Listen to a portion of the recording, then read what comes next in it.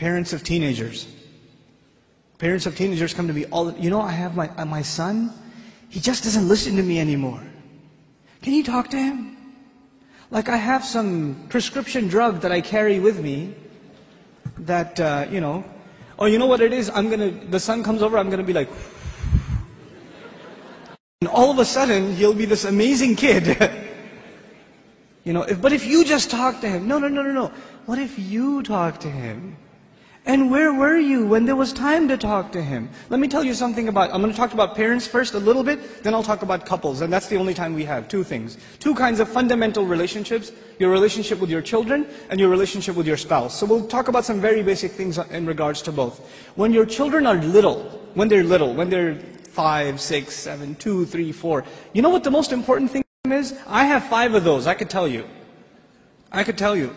The most important thing to them is your approval. They want to make you proud, man. They want to show you what they did. I'll be on an important work phone call. Important work phone call. And my son will come over, my two-year-old will come over. Abba, Abba, Abba, Abba, Abba. Like, okay, hold on. What is it? Eh. Nothing. I'll go back on the phone and he'll start calling me again. I'll be like, okay, okay, okay. What is it? I want to show you something. What do you want to show me? That is it. but you know what I'm supposed to do? Oh my God, that's awesome. Do it again. I'll call you back. You're supposed to appreciate what your children do. They live for that. They desire that more than anything else. I have three girls, and you know the difference between girls and boys. Boys can't sit still, and girls can't stop this right? So I pick my girls up from school. One's in first grade, the other's in third grade. I pick them up from school. It's a 25 minute ride back home. And what are they doing the whole way? You know what happened today in class? We colored a dinosaur and we did this and that and I was coloring it purple but I decided to put in some green and they're going on and on and on and on and on. And they cannot help themselves. And they cannot stop. And I have to pay attention and listen. I have to listen. I say, oh, what about blue? No, I did only a little bit blue. Right? I have to pay attention. And you know why I'm saying all of this? Just one more story on the side, just to wake you up a little. I, I share the story all the time. My, my, my oldest daughter, my eldest, Hosna, she's, uh, when she was younger, she was really into finger painting. So she'd dip her hands in paint and just making a big old mess, right? And she brings this big cardboard to me. And it's a big blob of blue. I don't see anything, right? And she says, Abba, look what I made. And I'm sitting there going, that's awesome, a mountain. And she says, no, it's mama. And I was like, oh, don't tell mama. but the point I'm trying to make is they live for your approval. Live for it. But those of you that have children that are teenagers, do they get in the car when you pick them up from school and they can't stop telling you about what happened? Does that happen?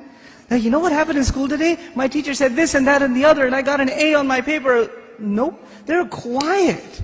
And you're trying to how was your day? It was okay. So what'd you do? Something. Where are you going today? Somewhere. They don't talk. Getting them to talk is like an interrogation at a police station. And they're not saying anything to you. And while trying to ask them questions, they're texting their friend, my dad is asking too many questions today. you know? I don't know what's up. Did you tell him something? What I'm trying to get at is very simple. At a younger age, your children crave your attention. And when they get older, you will crave their attention. But if you don't give them attention when they're tiny, when they come to you with their toys and you say, go in your room, I'm watching the news. The game is on. Could you take him, please? Come on, I had a long day at work. I don't want to deal with this right now.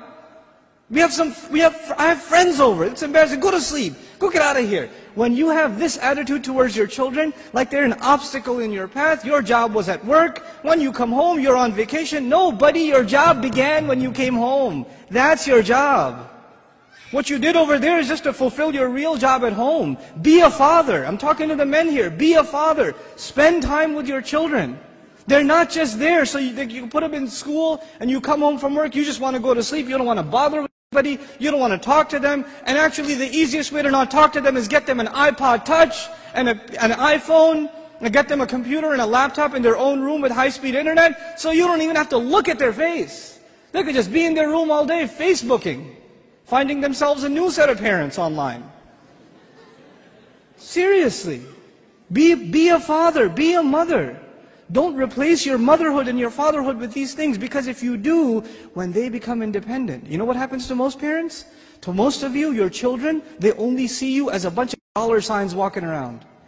And the only time they come and talk to you, Dad, can I have five bucks? Actually, nobody asks for five bucks anymore, right? It's 20s nowadays. And I know, I know youth, they haven't seen money that small. They don't know fives. Can I have $20? Can I go to the mall? Can you drop me off? Can I go over to my friend's house? Can I do this? Can I do that? Can I do the other? When they want something, they come to you. Otherwise, you don't see them. And when they get to a certain age where they are old enough to make their own little bit of money, guess what? You're not going to see them at all. Because your cash register is no longer relevant. That's no longer relevant.